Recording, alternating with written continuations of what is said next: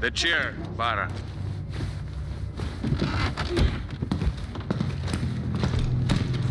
There will be no escape, Farah. No one is coming to your rescue. I'm in control here. And I can make your life much, much easier.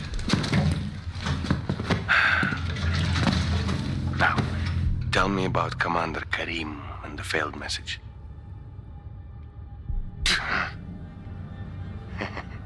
Playing it rough, huh, Farah?